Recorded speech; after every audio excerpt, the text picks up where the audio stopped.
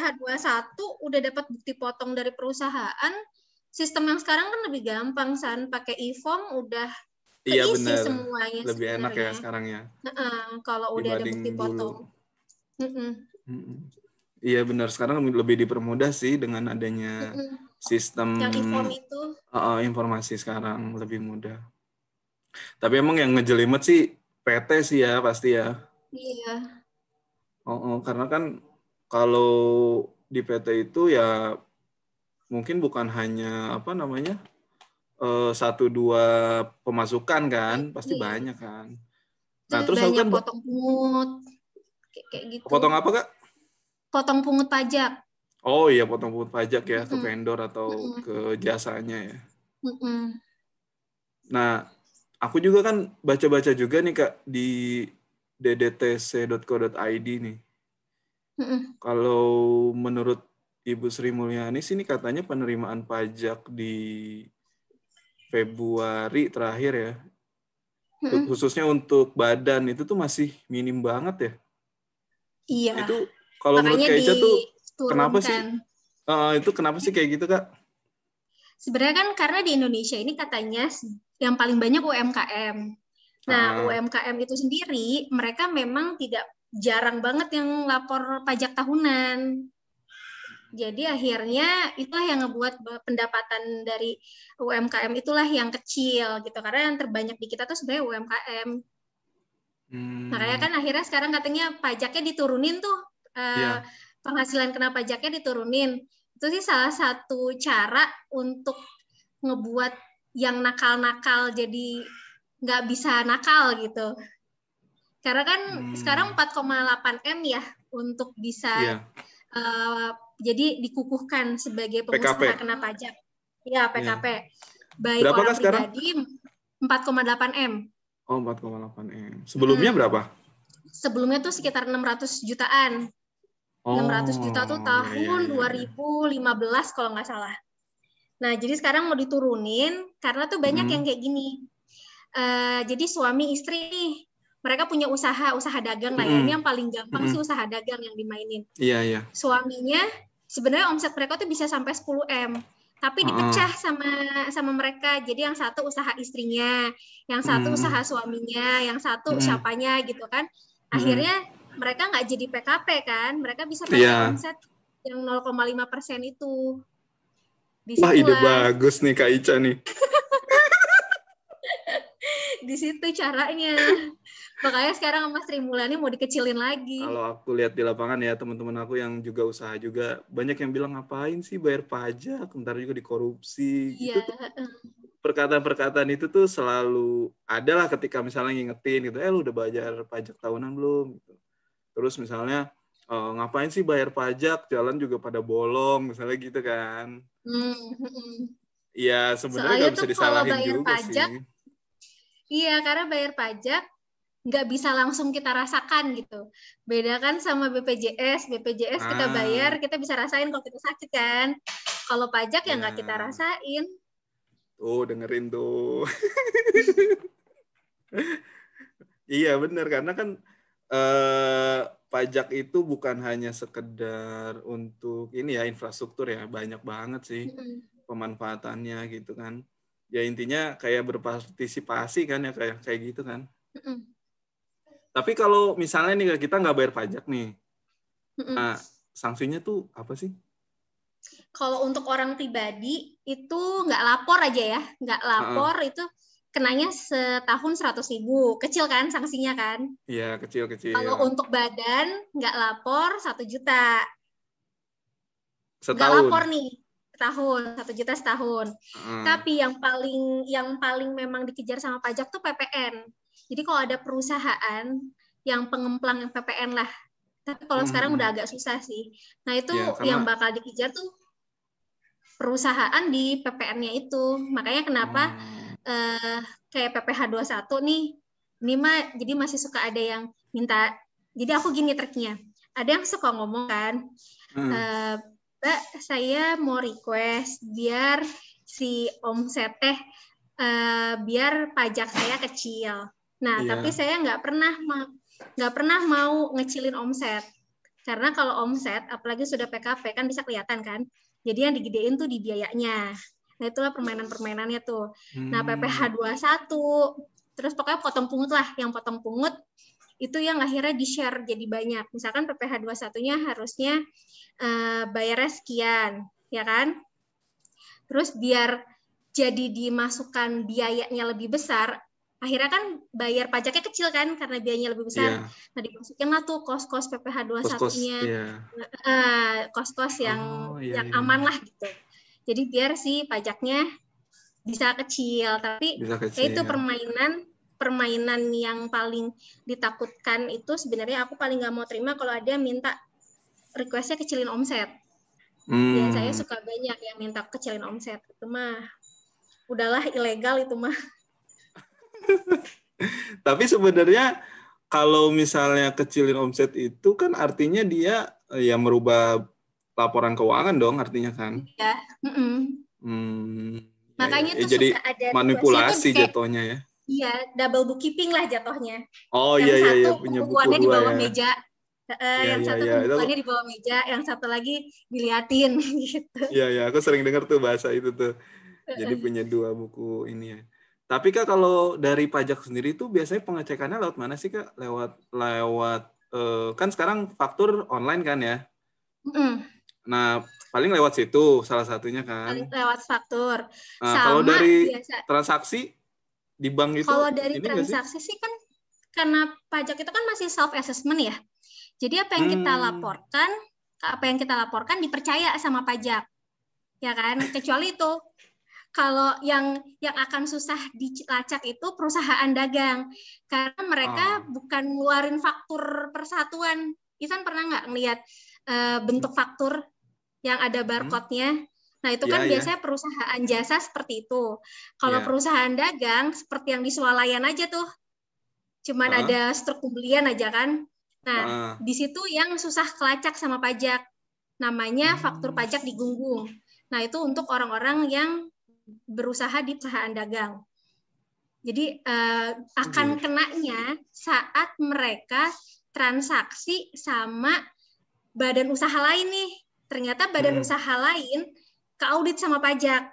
Rapi yang tadinya, atau misalnya enggak nah, gitu misalnya kan ketahuan. Iya, rapi atau enggak. Pokoknya mereka keaudit lah istilahnya. Hmm. Akhirnya si badan yang make yang make dagang barang dagang dari si perusahaan B nih ya, misalkan perusahaan A diaudit, dia uh, kerjasama sama B, C, D. Nah, B, C, D ini tadinya nggak kena nih sama pajak. Cuman kan hmm. mereka buka kan transaksinya sama siapa.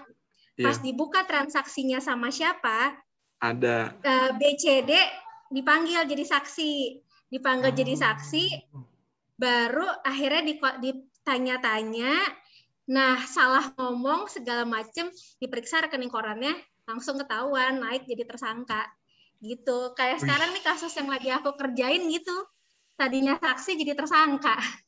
Oh gitu ya. Cara cara hmm. penelusurannya tuh kayak gitu ya? Iya hmm. tapi ini dia yeah. waktu itu kejadiannya tuh 2013 baru ketahuan sekarang mm -mm. jadi pajak itu bisa ketahuannya iya bisa ketahuannya tuh lebih dari lima tahun baru ketahuan jadi hati-hati aja aku suka ngomong gitu hati-hati uh. kalau mau main pajak mungkin setahun dua tahun lo aman tapi di atas lima tahun pasti pasti bakal kena deh Wih, ini jadi kena iya, nih iya. tadinya jadinya saksi jadi tersangka oke oke oke. Tapi kan itu untuk uh, bisnis bisnis PKP kan ya uh, ya?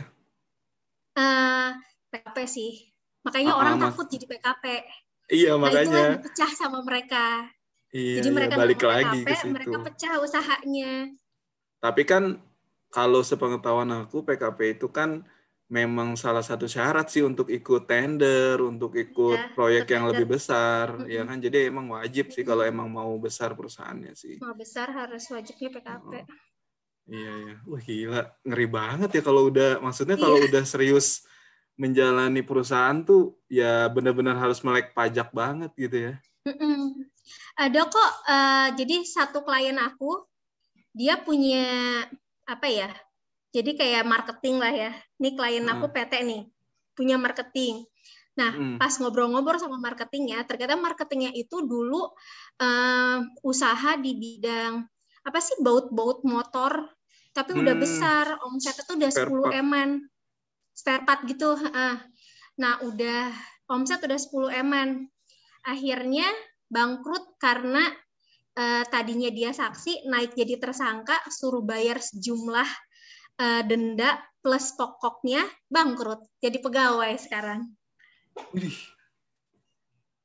Dimiskinkan oleh Bangkrut, pajak. habis-habisan dimiskinkan. iya bener Tapi kan itu emang hutang sebenarnya kan. iya utang jatuhnya Kalaupun lolos di sini ya di akhirat nggak lolos. Iya iya iya iya iya. iya. Seru banget ya.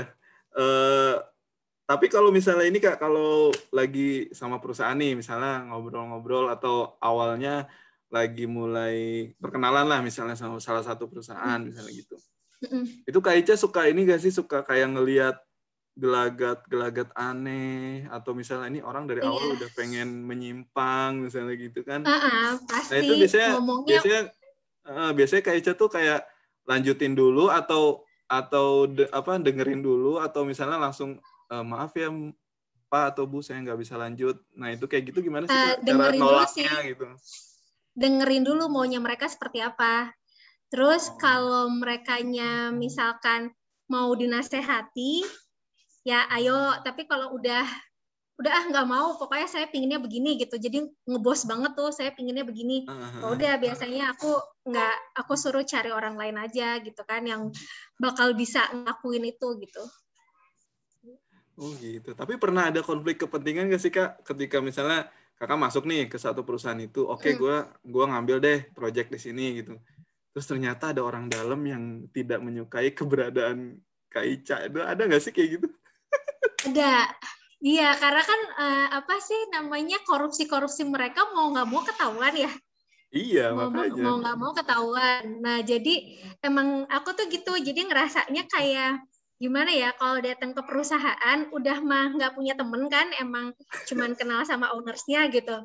Terus pas datang duduk disiapin meja, itu kayak orang-orang yang punya kepentingan tuh kayak musuhin gitu. Jadi kayak kalau nggak kuat-kuat mental tuh males datang sebenarnya. Iya makanya. Iya. makanya. Tapi aku suka nggak suka ngomong gini aja, misalkan Pak, ini di sini ada nilai yang nggak wajar, tolong dicari gitu. Nanti biar akunya nggak terlalu kelihatan gimana kan sama karyawannya. Iya, Hmm. emang begitulah. Sering dibenci, sering dibenci sama kalau ownersnya sendiri sering ngerasa kalau ngelihat muka aku tuh yang aduh beban lagi, aduh beban lagi. Gitu, ownersnya juga gitu sebenarnya. Waduh, kayak inilah ya kayak kalau sekolah tuh kayak guru B, kayak guru BK ya. Guru, Guru BK BP. datang nih. guru BP. Tapi cocok lah kak, cocok kak. makanya udah mukanya mah suka dibilang jutek ya jadi emang akhirnya cocok, banyak yang cocok. banyak yang nggak suka sih banyak yang nggak suka emang Hmm, aku sendiri tadi ngecek ngecek juga, baca baca juga eh, beberapa kasus-kasus kayak pajak-pajak itu. Nah, eh, kalau aku lihat itu ternyata ya sekelas dirjen perpajakan kayak gitu juga bisa juga korupsi ya.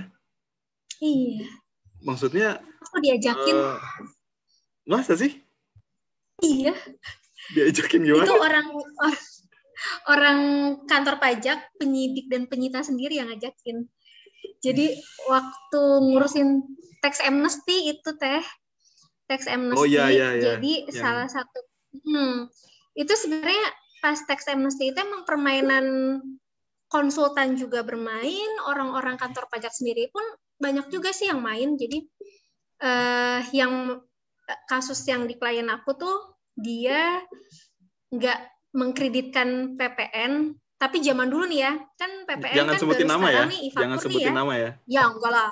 Enggak lah. Nah, jadi dia tuh sekitar berapa M omset yang disembunyikan, ya kan? Hmm. Terus akhirnya si AR-nya sama penyidiknya bilang kalau PPN ini nggak bisa untuk diikutin tax amnesty.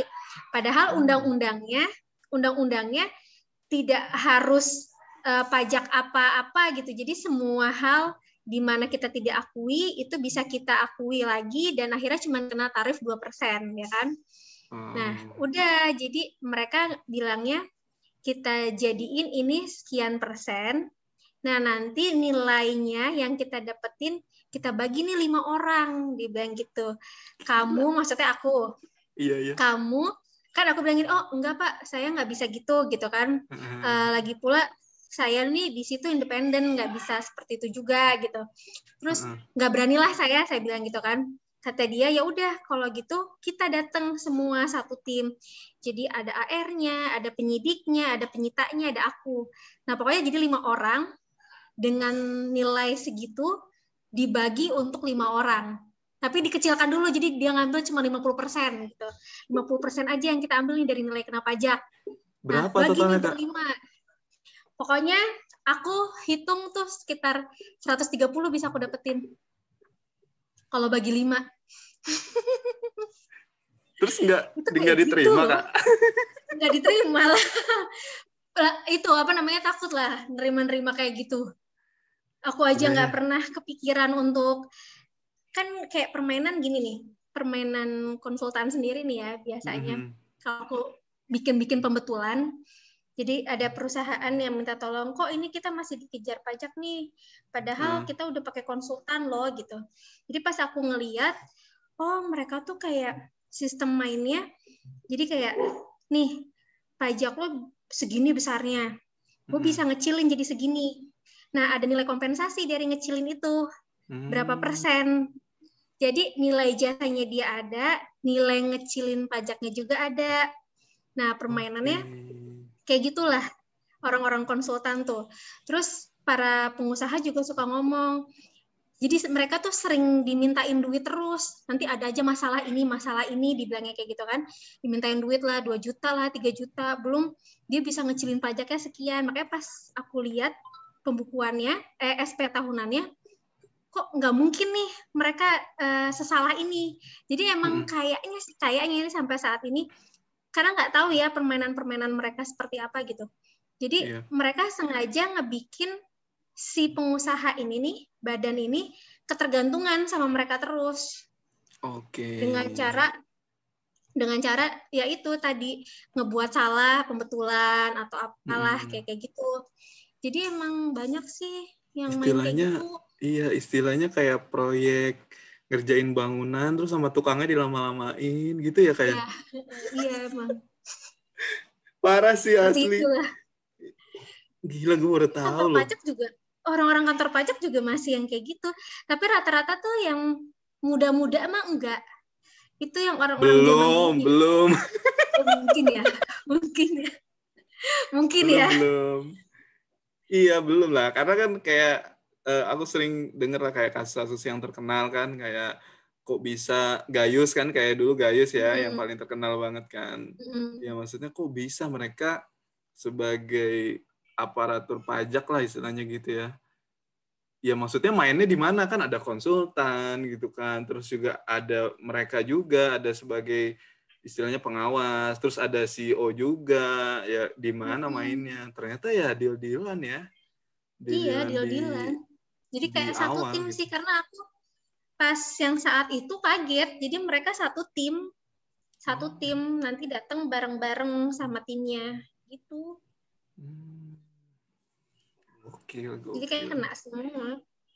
Project bancakan. Banyak yang Kayak- dapat. Iya kayak korupsi berjamaah jadi Mm-mm, iya. gile. Terus nggak pernah tergiur tuh kan? Enggak sih takut ah. Hmm. Kayak kayak gitu takut nanti anak-anak kenapa-napa lagi. Iya ya bener ya, nggak halal ya Mm-mm. kayak kayak gitu kan. Enggak halal. Bener-bener. Ngebohongin owner saja tuh aku enggak sih. Alhamdulillah selama ini nggak pernah mau mencoba untuk ngebohongin mereka gitu. Yang ada selalu ngasih solusi kan. Diterima syukur, nggak diterima ya udah cari orang lain lah. Iya, berarti itu kayak ya kalau kalau kayak ini tuh kayak harus menjual kepercayaan ya, Hmm. harus juga ya harus jujur gitu intinya gitu. Mm-mm. Karena kan mungkin istilahnya kayaknya kayak polisi kejujuran lah gitunya. Iya nggak? Kira-kira kayak gitu kan. Jadi, iya sih kalau mau ya kan? kalau mau macem-macem ya bisa sebenarnya. Iya, karena kan ketika Kaica masuk kan ya otomatis kaget kan, oh gila laporan keuangan kayak gini semua gitu kan. Mm. Nah, itu jadi jadi harus lebih jujur dari orang perusahaannya sendiri gitu. Mm Gitu. Makanya itu yang suka dimusuhin. Pas ketahuan. ketahuan hilang dananya di sini nih. Korupsinya iya, iya, di sini iya, nih. Iya, iya, iya, iya. Tapi kalau temen Kaica sendiri ada nggak sih yang yang juga fokus di perpajakan gitu kan? Uh, kalau temen sih enggak, tapi waktu ngikut brevet kan akhirnya di temen-temenan kan. Nah emang oh, rata-rata iya. mereka pada independen juga, pada independen. Oh iya iya. Jadi mereka mereka doang yang pas aku ngambil brevet itu kan jadi temen tuh sekarang sering sharing juga. Uh -uh. Gitu. Jadi temen kuliah tuh nggak ada yang ngambil nggak ada. ini Wih, gila. Enggak, emang pada kerja kantor lah. Makanya pada ini kan, pada bilang kaget gitu. Maksudnya berani uh. usaha sendiri gitu kan. Iya. Aku sih pokoknya waktu dulu tuh simpelnya gini. Gue perempuan yang ngega yang uang makan sehari-hari suami. Jadi kalaupun yeah, yeah. di sini nggak berhasil, ya ada laki gue gitu. ya benar benar benar benar. Mm. Tapi emang asik sih kayak punya usaha yang juga itu passion ya terus juga kayak apa namanya dan itu sesuai dengan keilmuan kita gitu kan mm. itu asik banget sih terus waktunya bisa alhamdulillah sih nikmatin nikmatin emang emang nikmatin nih aku yang megang tuh bener-bener perusahaan yang dulu kerja kan mau nggak mau aku yang pegang yang nggak yeah. jadi resign tuh pas mau resign sama bosnya nggak boleh nah itu seminggu uh. sekali lah aku datang Oh. Nah itu di situ lah, di situ juga banyak yang nggak sukanya. Iyalah karena kan istilahnya ya Mbak Ica benar-benar dibutuhkan di situ kan. Ini enak banget Cara nih. rahasia kali ya. Oh iya iya, iya iya iya iya iya. Tapi juga bisa juga dia pada iri kak. Ya ini enak banget nih Mbak Ica nih kerjanya seminggu sekali ke kantor gitu kan. iya sih mungkin pada banyak bilang enak kan, padahal sih kita yang ngerasain mah malah setiap hari sampai hari Sabtu Minggu aja bawa laptop kalau ke mana-mana. Kalau uh, Kak Ica punya ini nggak kayak apa quotes deh buat orang-orang yang sekarang lagi bingung perpajakan perusahaannya kak, usahanya atau pribadi itu apa sih kak tips-tipsnya kak? Kira-kira? Segini, kalau kita punya usaha, usahanya hmm. masih maksudnya taraf UMKM masih sedikit, mendingan daripada nge-hire orang banyak yang kena tipu malah kan usaha masih kecil-kecilan tapi udah nge-hire gitu kan. Mendingan hmm. si ownersnya nih mereka harus paham juga minimal sedikit lah jadi nggak ditipu gitu kan ya datanglah ke kantor hmm. pajak mereka buka kok kelas untuk belajar untuk nanya, untuk belajar, apalagi kalau nomor kita udah dipegang ya sama mereka, itu kadang suka ada aja kayak ada seminar atau apa diundang. Jadi mending kalau masih usahanya terbilang tergolong uh, kecil, penghasilannya juga masih berputar di situ-situ aja, mending belajar hmm. aja. Orang kantor pajak tuh baik-baik kok ngajarin gitu. Kalau hmm. udah uh, mampu untuk nge-hire barulah tapi minimal satu harus tahu dulu gimana sistemnya luar-luarnya nggak usah sampai kulit-kulitnya gitu karena banyak yeah. yang iya. suka nipu sih iya iya iya berarti mereka tuh juga Itu welcome ikut, juga sebenarnya welcome orang kantor pajak tuh welcome untuk ngajarin hmm. terus yang ngikut-ngikut brevet ya selama ini brevet AB kan kalau yang ngikut C sih emang niatnya mau usaha di situ ya kalau brevet A sama B itu kebanyakan juga para pemilik usaha. Jadi mereka suka kena tipu. Biar hmm. nggak hmm. terlalu dibegoin, mereka ngikut brevet. Hmm, dasar-dasarnya kan Biar di situ kena ya. tipu itu. Iya, dasar-dasarnya. Minimal tahu lah gitu. Tapi emang gitu sih kalau pemilik perusahaan harus tahu harus tahu uh, ilmunya di keuangan. Karena di sini nih tempat yang paling bisa untuk korupsi itu di sini. Sebagian pajak sama keuangan itu tuh itu udah udah pasti itu mah. Iya iya iya. Balik lagi ke situ ya ujung-ujungnya ya. Iya, daripada ditipu kan mendingan belajar lah sedikit-sedikit. Oh nggak rugi gitu. Iya. Karena memang kalau kalau se pengetahuan aku kalau yang namanya pajak itu orang udah pasti aduh males males banget ngurusin pajak gitu kan hampir deh hampir iya. semua orang kalau ditanya nggak perlu ngurus sebenarnya nggak iya, perlu kan? ngurus kalau dia sudah bisa nge-hire hire aja orang tapi minimal dia tahu cara kerjanya. Jadi nggak usah ngurusin lah dia mah harusnya ngurusnya bisnis. Nah iya. hire orang untuk ngurusin pajak tapi dia pun harus tahu. Jadi nggak nggak sembarang kena tipu. Iya tapi kan susah juga kak cari hire orang yang pajak yang misalnya yang nggak terlalu mahal misalnya gitu kan susah juga kan? Ya uh, sebenarnya banyak sih San. Banyak. di mana tuh kak? Cuman Nyarinya ya. Di mana? Sebenarnya kok tarif aku juga nggak mahal. iya makanya kan daripada bingung-bingung yang mending mending mending calling Mbak Ica. Enggak. Uh, ada kok ya, aku sampai kaget ada di grup. Aku kan ada grup pajak ya. Ada di grup itu mereka tuh buka harga kayak yang diomongin. Jadi ada satu orang ini dia buka harga rendah banget untuk SPT badan aja dia tuh minta satu juta gitu. Entahlah pakai syarat dan ketentuan berlaku atau enggak lah nggak ngerti ya. Yeah. Cuma mereka pada ngomong ini kalau banyak orang yang kayak gini nih bisa-bisa pasaran maksudnya nilai konsultan pajak bisa jatuh nih gara-gara nilai-nilai rendah kayak gitu dibilangnya kan padahal kita punya beban tanggung jawab juga besar gitu kan banyak iya. sih kalau mau dilihat yang murah. Ya itu dia makanya ya sama lah kayak di aku kan fokus juga di IT kan. Nah di IT mm-hmm. juga sama. Paling kesel banget kalau udah uh, kita udah punya harga terus punya brand, uh, udah punya standar brand ya. di situ standarnya gitu kan.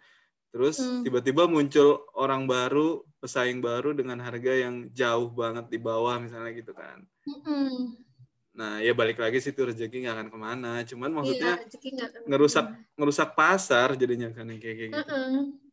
Padahal belum tentu juga nanti dia ya isinya benar apa enggak juga kan kita nggak tahu kan. Ya, itu Jadi dia, ngerusak, ngerusak aja gitu ya kayak gitu.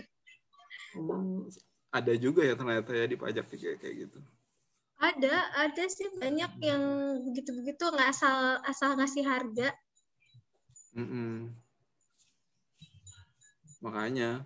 Jadi nggak istilahnya ya belum tentu juga dia tanggung jawab kalau ada masalah kan? Iya. Mungkin cuma sekedar lapor lapor doang kali atau apa kan? Iya.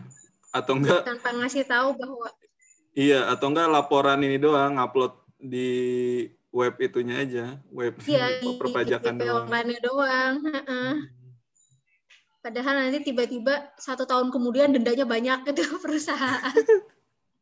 banyak sih yang kayak gitu emang. Gila. Itu kan ya perlu analisisnya mateng banget ya maksudnya kayak ini harus harus benar-benar dilihat item per itemnya gitu kan. Jadi kayak kalau perusahaan jasa aja nih ya. Hmm. Saat dia mau uh, mau tender sama badan lain gitu ya, mereka mau ikut uh. tender, terus udah deal, Nah, itu kan biasanya harus diikutsertakan nih konsultan uh pajaknya. Biasanya uh aku diikutsertakan itu untuk melihat komponen di dalamnya itu apa aja yang kena pajak, potong pungutnya bagaimana gitu kan biar nilai dari omsetnya yang mereka eh nilai dari yang mereka buka nih itu nggak uh merugi gitu kan. Kalau misalkan marketing kan bilangnya, "Wah, ini kita dapat project gede nih nilainya." Padahal setelah di breakdown itu potong pungutnya tuh banyak yang akhirnya ngebuat jatuhnya rugi di pajak gitu. Jadi itu yang hmm. harus dilihat dalam setiap kali project potong yeah. pungutnya gimana, terus bikin kesepakatan di dalamnya. Wah, ini ilmu banget nih. Iya, ya benar-benar. Soalnya kan ya biasanya kalau dapat project ya ya udah senang-senang aja gitu kan ya kayak. Uh -uh. Iya. Misalnya dapat project. Nih, gede nih gitu. Iya.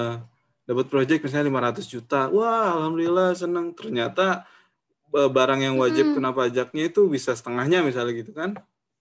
Iya, jadi uh, kayak perusahaan jasa ini lebih banyak kayak gini. Kan biasanya kalau aku kan emang lebih banyak ke jasa ya dibanding barang dagang gitu. Nah, jasa ini biasanya mereka dapat nih satu project nilainya besar, tapi fee-nya banyak.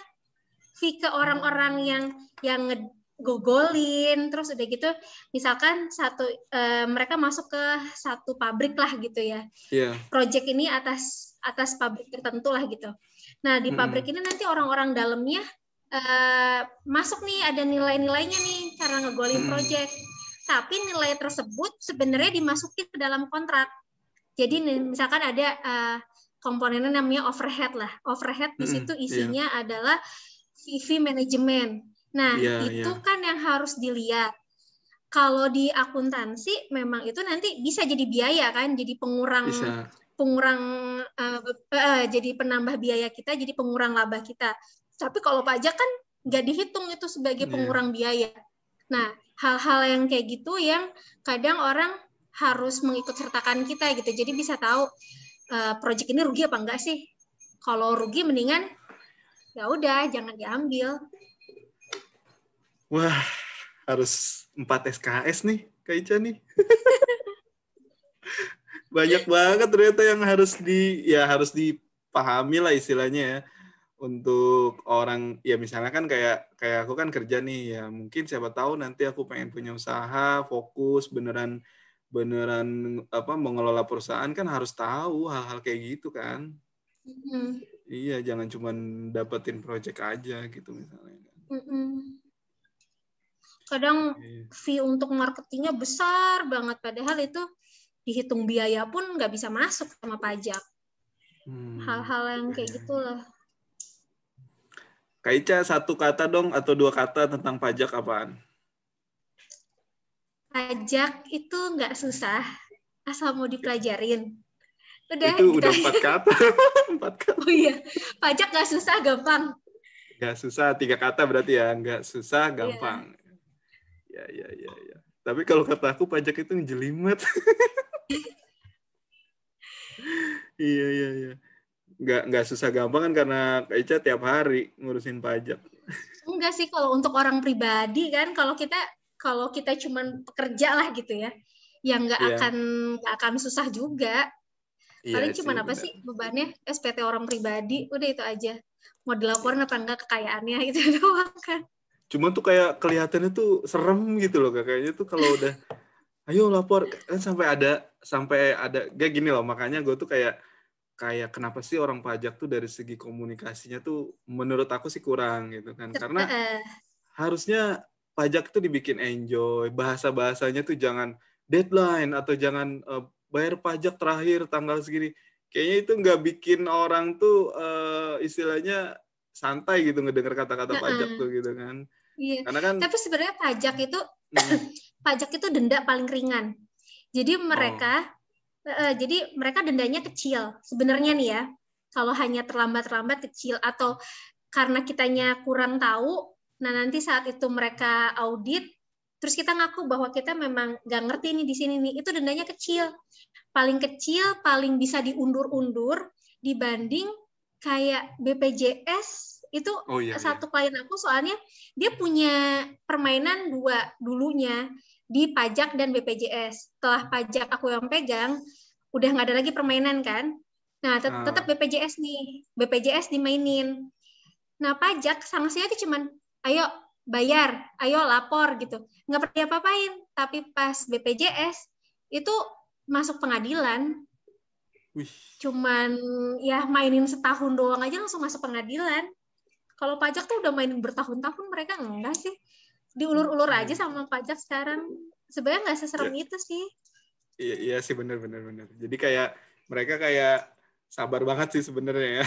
Ngadepin hmm. orang-orang kayak kita. Ngadepinnya sabar. Mungkin tahu kali ya.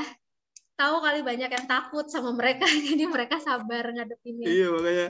Iya emang sabar banget sih. Cuman mungkin bagus lah kayak misalnya dia bikin kayak baliho atau misalnya informasi elektronik kayak di Instagram atau dia tuh kayak bikin lucu-lucu gitu kan. Terus ada sempat nisan. Kayak, Jadi waktu uh, itu di Instagram pokoknya dia masuk di IG Explorer lah tuh ya. Jadi ada satu usaha dia ngomong bahwa kalau nggak salah makanan apa ya, dia bilang bahwa omset dia udah besar terus udah Ah. gitu ayo kalau mau pesan bla bla bla segala macem di bawahnya masuk dong komen orang pajak. Apa dari DJP mana daerah mana gitu. Ayo jangan lupa ya kak bayar pajaknya jadi sekarang kantor pajak tuh IG IG kan mereka udah pada punya IG ya? Itu suka Iya, iya, iya. aneh-aneh aja gitu loh. Kadang aku suka nemuin di selebgram itu di bawahnya dari DJP apalah gitu ya. Heeh. itu komen. Jangan lupa ya pajaknya disetorkan nggak jelas banget Iya, iya, itu kan iya, bikin iya, orang iya. jadi takut juga ya Jadi lambe lambe turah juga dia ya, kayak jangan-jangan nih. iya, maksudnya ya jangan kayak setan gitu kan tiba-tiba muncul lah gitu kan. Jadi eh lucu jangan lupa juga pajaknya gitu kan. dibayar gitu Iya, ya harusnya mereka kerjasama lah sama selebgram atau misalnya sama artis-artis gitu kan. Bikin edukasi-edukasi yang santai lah gitu kan. Bahwa sebenarnya sih ngomong mereka santai itu. cuman karena ngomongnya santai cuman karena udah kepikiran wah harta gue bakal diambil jadi ketakutan sendiri Nah, terima kasih. iya sama-sama gabung. Mohon maaf ya kalau ada kata-kata yang salah ya, Mbak Ica. ya sama aku juga saya nggak bisa ngomong orangnya